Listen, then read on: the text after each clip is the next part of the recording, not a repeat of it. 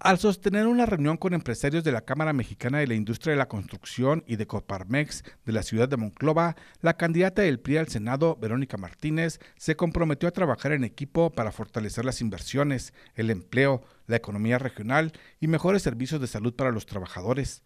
Los empresarios le plantearon sus inquietudes a la bandera priista, quien los escuchó y atendió. Al mismo tiempo, les presentó las propuestas de campaña.